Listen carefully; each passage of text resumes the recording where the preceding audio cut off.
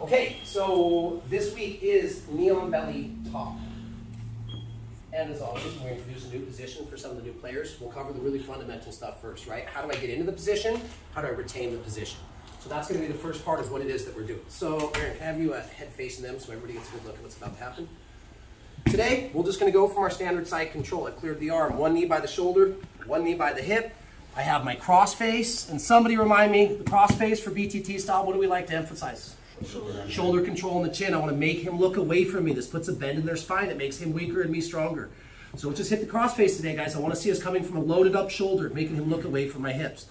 Other arm, deep underhook. Okay, so knee on belly is just what it sounds like, one knee on belly. Before I show this and get into it, I want to make sure we all understand something. If I put my knee on his belly, is this a point scoring criteria? No. Why? My knee's on the ground. So this does two things. One, this robs me of points. Number two, it shortens my base. Now when he starts to rock and roll, it's harder for me to have that point of retention. So when we transition to my knee on belly from this particular type of side control, I'm gonna pop up and it's like I'm surfing on a surfboard. I'm out here, I've got a wide base. It's hard for him to grab my leg and I have a good uh, distribution of weight and this keeps me up, my center of gravity up and driving down on his hips. Remember, if he can't move his hips around, I can keep him in this position. Okay, so there's 101. Starting from our good side control with the chin. There's lots of ways to do this. The way that we're gonna do it today is gonna be simple. I'm gonna set up one of my grips before I get into knee on belly. So I don't get to knee on belly and then have to hunt down two grips. So since I'm already here, all I'm gonna do is basically give him a thumbs up. I'm gonna loop my thumb into the three grip behind the neck and I'm gonna make a fist, okay? When I'm ready, I can go from, I'm kind of 90 degrees to him right now. I can do that, that's fine, but there is a little bit of a cheater trick here. If I start moving my hips up, making his elbow flare this way, it's gonna make an easier transition to put my knee on belly, and then as I transfer my weight, I come right in to my knee surf, okay? My hand was here. Yes, it's an extra post, I can keep this, but the grip we're gonna work on today, I'm simply gonna slap back on the outside of his knee, his outside seven grip. Seven grip being the knees, I want the outside. I don't want the top, and in this particular instance, I don't want the inside since my leg is not trapped. So all I'm gonna do, make my outside seven grip. Now, these grips, they're not getting grips for the sake of getting grips. I'm gonna cook my partner. So I'm gonna be driving my weight down on his shin with good posture. I'm gonna be pulling up on the neck, pulling up and in on the knee and bending his body in half. Now I can sit here and control him, not to mention, it's driving my shin in, starting to mess with his breathing, and it's bending him out of a position. I'm putting a bend in his spine. Remembering if his spine is straight, he's got a lot of bucking power. So all that talk, our first drill is just gonna go like this. I'm gonna transition into my grips and into my knee on belly. Good side control. When I'm ready, loop the thumb in the collar, pin it to the ground. Cheat my hips a little bit up, step on, come up, grab the grips, and start to cook him, okay? Aaron's job is gonna give me like 30% resistance. He's gonna rock and roll a bit. I'm gonna find my knee surf, find my knee surf, come back down. I'm gonna feed it three times from the right, three times from the weak side, and then we're gonna switch. Get the grip, cheat my hips, come up, cook, cook, get my grips, cheat the hips, come up, cook, cook. When I'm done, come to the other side, do the same thing again. Any questions? I'll be around, guys and girls. Five minutes on this. Ready? One, two, three. Getting into neon on belly from side control. Okay, same thing. I'm going to try and keep this explanation pretty short because I want to get into shin and arm bar. And then hopefully we have time to introduce at least one, if not both, versions of our baseball choke. But let's see. Uh, can we back down, please? Same thing. We'll call that part A. We're going to jump up into part A. We're going to knee surf for a minute. We're going to hold it. We're going to cook them. We're going to cook them. And then, pretty straightforward, just like I would do if I was in side control and I wanted to go straight to the mount, once I control and I kind of pin them here, I would lift the hand up, bring my knee all the way to the armpit, and transition to my mount. We're gonna do the same thing, only we're gonna hit that extra point scoring criteria on the way. I'm gonna hit knee on belly, just like we did.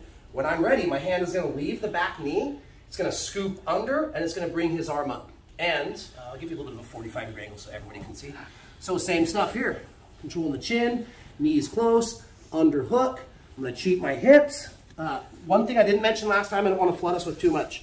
My knee on belly, my shin is covering from hip to hip on him. If my knee is in the middle here, can everybody see how I have a pocket of space right here? Mm. Next week, when we run the inverse side of this, it's gonna give him a chance to put his hand on my foot and feed me off. So now, just one extra piece on part A, when I transition to knee on belly, I want instead of a tattoo, let's add a shoe on and shoelaces. I want my shoelaces stuck tight to his hip. So same thing, I'm gonna make that transition now. Boom, slap the foot, come across, come up, get my grips and cook and cook. Right now I'm mentioning cook. Here, maybe today, probably Wednesday, we're gonna get into, there's a couple things that they do, big mistakes that players make from the bottom with their arms, okay? I can hook and go far side spinning armbar. I can come into Kimuras, but for today I don't wanna kind of overload our brains. So I'm here. I'm gonna now dig at the elbow, put my palm on the ground. Some people kind of start to engage, so it's hard for me in one motion to come up here. Anybody remember the trick? If I can't lift him up, I do that. I do the Addams family. Da da da da da da da. And then why does my knee land in his armpit? Who can remember? Because my knee lands here, he traps me in a half guard. So if I clear the arm first, and my knee comes to his armpit, trap me here. He can't. Then I can transition to the mount. Mm. So just a really important but a very small detail. When I transition from knee on belly to mount, which is what we're doing now, clear the arm, whether I go or whether I've got a hand finger walk, now my knee lands just outside. Now he can't trap my leg in a half guard. I can slap my foot to the mat, transition to my skydive, and hold the position until I can get points or stabilize. So all that talk looks like this. When we transition to on belly, make sure our shoelaces are touching the hips. Get my grips and cook. Oh, he didn't make a mistake with his arms. Simple and straightforward, right? Okay, five minutes on this one. After that, let's get into some of our submission series from Knee on Belly. Ready? One, two, three. Okay, so we've talked about getting to on belly, points of retention, and now we've talked about our transition to mount. Okay.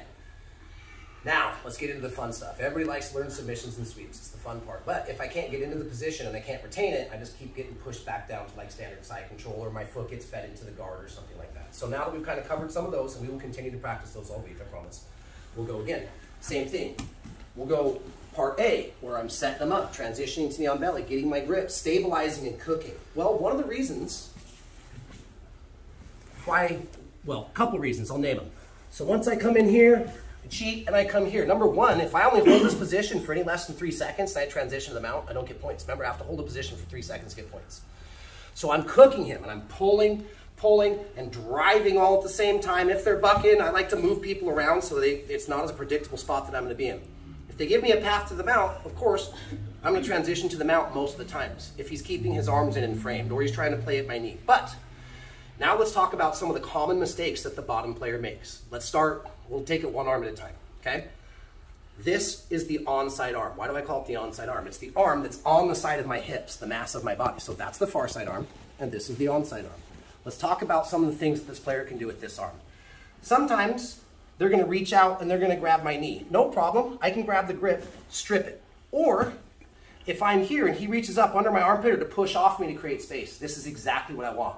Here in the mats, I'm like, oh, thank you, thank you. All I'm going to do is leave the neck, grab the one grip, and again, just like earlier where I couldn't strip the grip, I kind of committed his hand. Same principle, different application. So I'm in here cooking. He goes to create space. I'm going to leave the three grip on the back of the neck. I'm going to hold the one grip, okay? Once I have the arm, I don't just hold it, I'm extending his arm so he can't have it back. Guess what's coming? Juji Gatame, armbar. I can do this with this hand here, it's just a little harder. So a lot of times what I like to do is lean forward, which puts even more of my weight on my partner. Post. Between this post and this post, it lets me get my hips light and run my shin in armbar. My shin is in his armpit. I slide it up. I get the back of my foot behind. I drop my knee over by his jaw, and I'm pushing and pulling. Now I can make the transition. And guys, there's two finishes for this. Once I get the leg over, I can lean forward and push my hips, or I can come backward and use my free hand to control the thumb. So all that talk is going to look like this. I'm to transition. I'm to get my grips and cook. The second he reaches up, I'm going to commit, post, and go shit in armbar. Cool. We do a little quicker.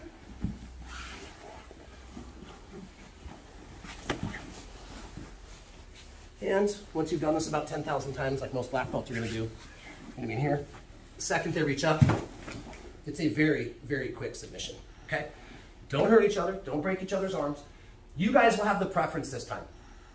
You're to do this six times. If you want to go three and three, fine. If you want to run all six from the same side, your choice. You go six, switch, your partner goes six, See how many times we can get through in five minutes. Sound good? Shin and arm bar from Neon on belly. Ready? One, two, three. All right, probably our last technique of the day because we got good bodies on that, so I want you guys to be able to roll rather than just have to listen me beat your eardrums up with a bunch of words, okay? We're gonna run the same progression. This time I get in, and the player's keeping their arms home, okay? Which usually will let me have an easy transition to the mount, but sometimes I try to lift their elbows up and they're kind of doing the chicken wing thing. Me personally, I don't like to transition to the mount from side control or from any position if I can't lift up the armpit because they can use that arm to block my leg, put me back down the ladder into a half guard. I did all that work to pass the side control. Why would I want to work myself back into a half guard, okay, unless I'm trying to run a specific berimbolo or a leg trap. But for the rest of us, the most of the time, same thing, standard side control. Are there different types of side controls, like Kesa Gatames? Sure. Or we call our typical side control. Are there ones where we hook the hips to prevent the reshrimp? Sure. But today we're working from kind of our fundamental side control. when I'm ready, loop, shift, here. Now this time he didn't reach up with this arm giving me the onside armbar. Later this week we're going to talk about what he does with this hand, posting it on my knees to give me Kimuras or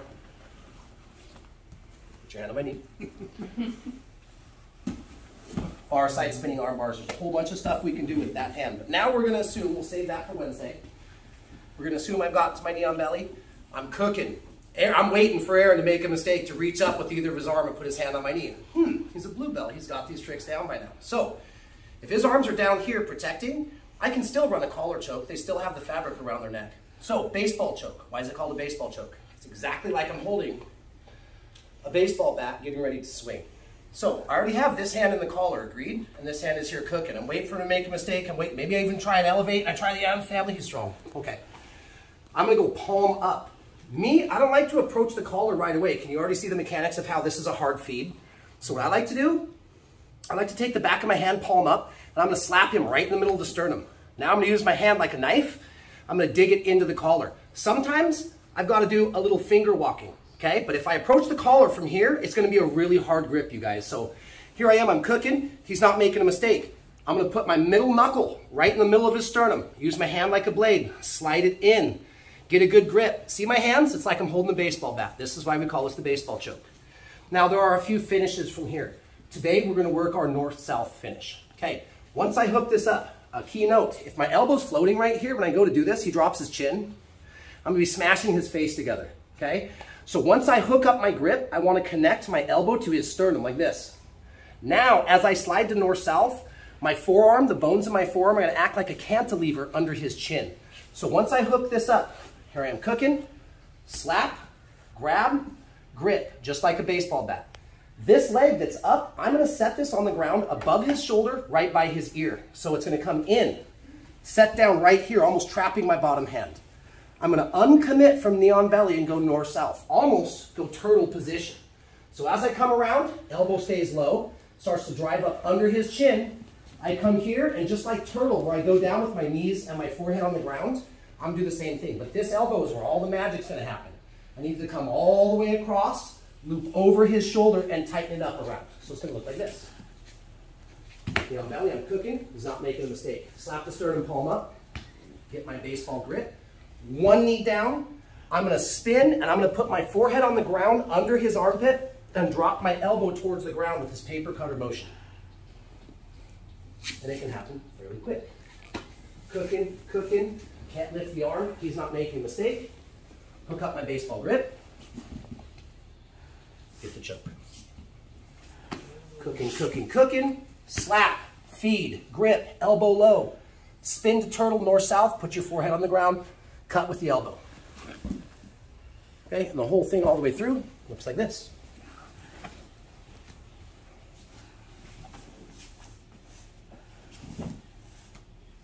Baseball choke, because I'm holding his collar exactly like I would hold a baseball bat.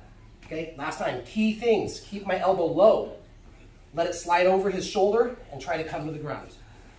Very, very last, last thing. Remember, this is a blood choke. If you have it and you're like, I'm strangling this fool, count to five in your head, slow count. One, two, three. You get to five, they're still conscious. You have either to readjust or move on to something else. Sometimes not every submission is going to work. Sound good? North-south finish to baseball choke from the on belly. Ready? One, two, three.